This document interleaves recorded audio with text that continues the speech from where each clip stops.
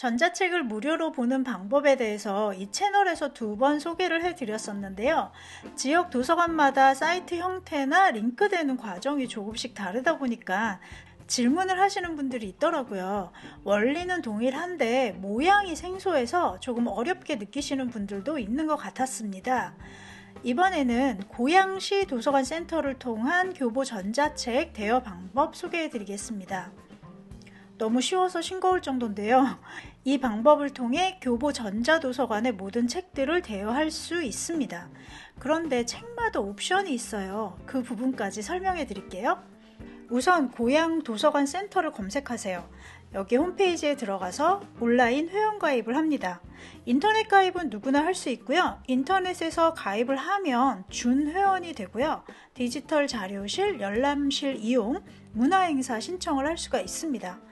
그런데 우리가 원하는 건 자료 대출이잖아요. 우리가 흔히 대출증이라고 부르는 회원증을 발급받아야 하는데요. 정회원이 되어야 회원증을 발급받을 수 있습니다. 이건 온라인 가입 이후에 가까운 도서관에 직접 한번 가셔야 합니다. 정회원, 즉 회원증을 발급받을 수 있는 자격은 경기도 거주자, 경기도 학교 학생 및 직장인, 사업자면 가입 자격이 됩니다.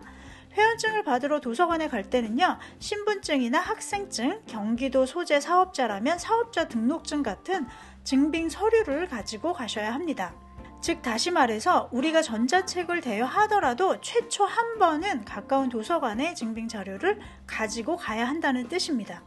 도서관에서 이것이 바로 확인이 되면 즉시 회원증이 발급되는데요. 즉 정회원이 된다는 뜻이죠.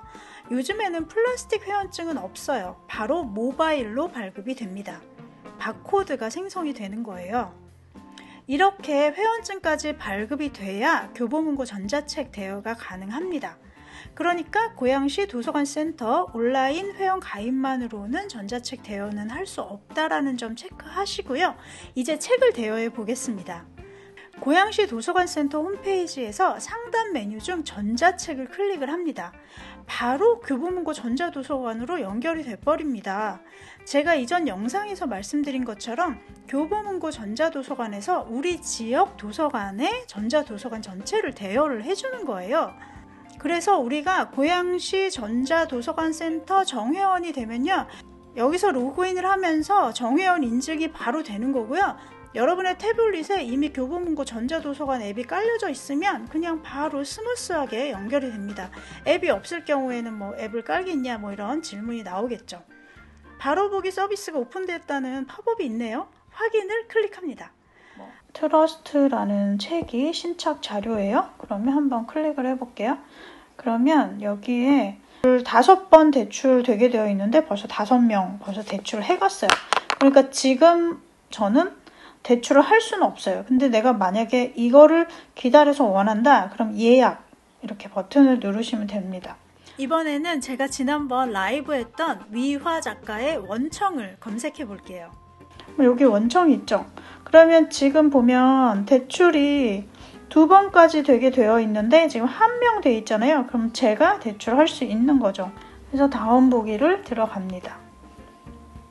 이렇게 되면 어, 원청은 이제 15일간 제가 지금부터 다시 볼 수가 있는 거죠. 지역 도서관들이 이런 전자책 대여 서비스를 하고 있어서 어, 보게 되면 여기 도서관 검색을 통해서 볼 수가 있습니다.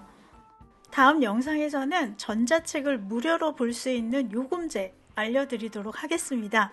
끝까지 시청해주셔서 고맙습니다.